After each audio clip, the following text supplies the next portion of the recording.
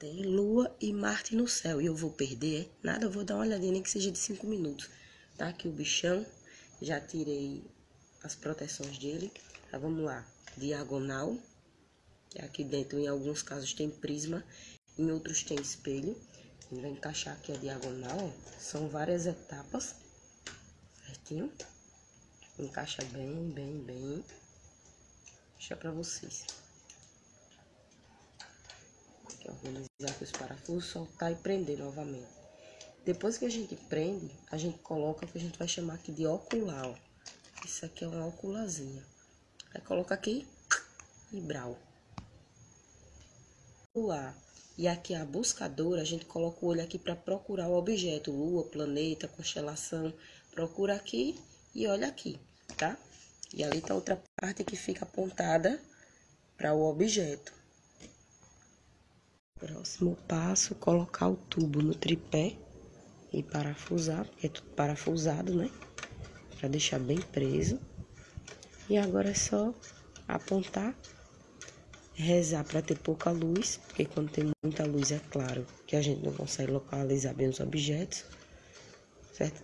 Prender bem aqui e agora vamos ver o que é que eu consigo capturar. E você procura aqui na ocular, depois que você coloca o olho aqui, que você vê a lua por aqui. Aí você, quando você centraliza, agora você vai procurar a lua aqui, ó. Aí ela vai estar tá aqui, bem no centro.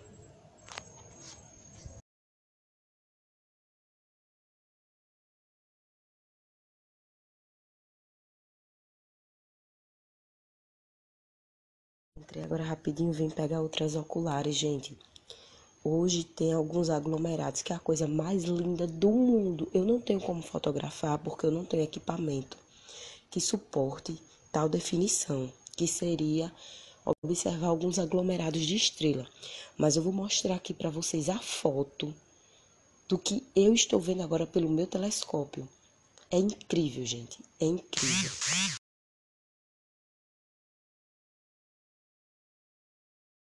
Legal.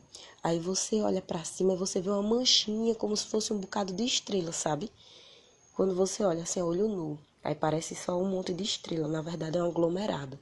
Aí quando você aponta o seu telescópio, um binóculo, você vê o espetáculo que o céu traz e que muitas vezes só é possível enxergar só você, só você que pode enxergar aquilo.